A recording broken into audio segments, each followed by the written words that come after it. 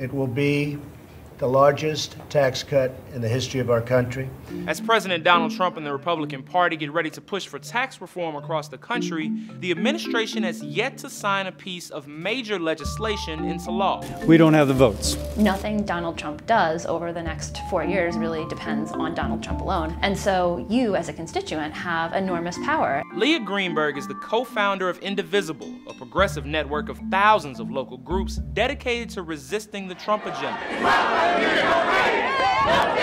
Indivisible has protested the president's travel ban, the defunding of Planned Parenthood, efforts to repeal Obamacare, and much more. Indivisible reportedly has a volunteer led and organized chapter in every congressional district in the U.S more than 6,000 groups nationwide. We were just trying to figure out what, what we could do to respond to the incoming administration and the dangers that it posed. We went back to sort of our early years as young congressional staffers on the Hill uh, and faced this really determined local advocacy movement, the Tea Party. Kill now, kill! Kill now, kill! After the election, we had this realization that they may have had, there might have been some lessons from that period for what we saw as this emerging wave of grassroots activism. So, taking inspiration from a former foe, Greenberg put together a small Google Doc expressly modeled after the Tea Party's tactics. We thought that, you know, somebody would, like our friends would like it on Facebook, and in six months somebody would maybe send us an email and say, hey, I used your guide, and we would be really excited. That was, that was success for us. But now success looks a lot different. Read Indivisible.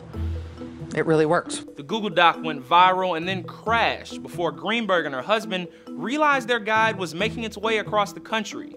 Indivisible chapters started popping up all over, and these newly politically active volunteers had questions. As a volunteer team, we started trying to um, be just sort of a help desk to all of the folks who were coming to us. And we realized at some point that that was not, uh, we couldn't do that forever as volunteers. So in December, we put the Google Doc out, December 14th. And then um, my husband quit his job in January.